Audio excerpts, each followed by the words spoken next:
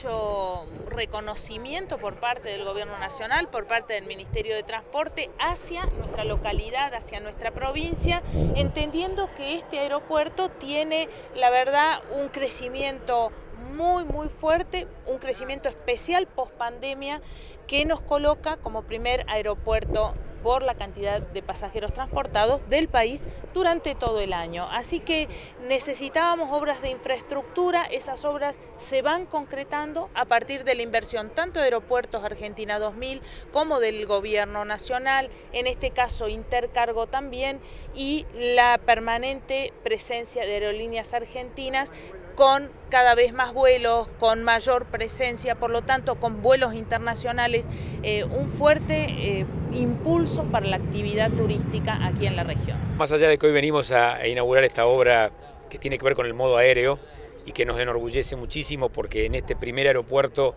del interior de la Argentina la infraestructura rinde muchísimo y rinde porque es un motor de una industria como la industria turística.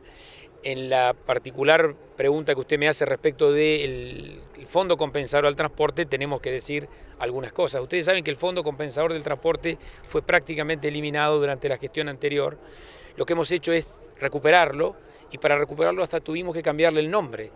Eh, fue, se inició como un fondo de compensación COVID para el transporte. ¿Por qué? Porque el otro fondo, el que repartía recursos al interior del país, en el consenso fiscal del 2018 fue eliminado. ¿Qué hemos hecho? Hemos además eh, tratado de resolver esta distorsión que se provocó a partir de ese consenso fiscal. Hoy hemos llevado la discusión al Congreso de la Nación, me ha tocado a mí como ministro llevar el tema y, tenemos hoy ya una cifra ¿eh? del Fondo Compensador del Interior, que está definida por el Congreso, la Cámara de Diputados y la Cámara de Senadores, casi por unanimidad de 85 mil millones.